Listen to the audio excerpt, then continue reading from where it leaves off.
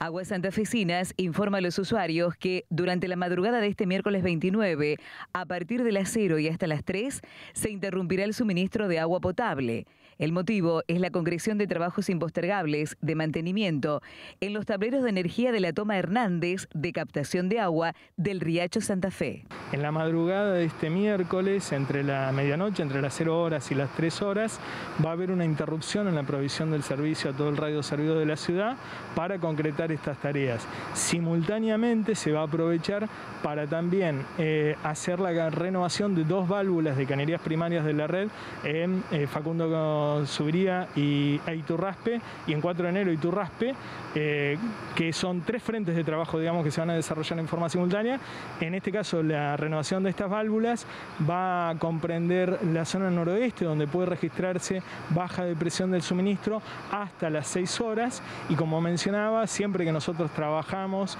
sobre la red y modificamos este, la presurización de la misma, pueden originarse, como advertimos, eh, episodios de turbidez, para lo cual la empresa también va a ser eh, purgado de la red. Y estos trabajos, vale mencionar, se desarrollan en horario nocturno precisamente para minimizar las molestias, pero aquellos usuarios que detecten este episodio tienen que dejar circular el agua hasta tanto recupere sus eh, características habituales. Bueno, ¿qué recomendaciones le damos a las personas vinculadas con el tema de esta bajante tan pronunciada del río. Desde varios lugares hablan de que el agua no es potable o no es este, incolora, tiene algún color puntual. Eh, ¿Perjudica la salud esto? No, no, nosotros tenemos, como decía, eh, trabajos que se desarrollan permanentemente de mantenimiento en la red, este, trabajos de reparación de distinta escala, a veces bien sectorizados, u otros de mayor escala, como lo que estamos anunciando en esta oportunidad, eh, que pueden generar estos episodios, como siempre advertimos,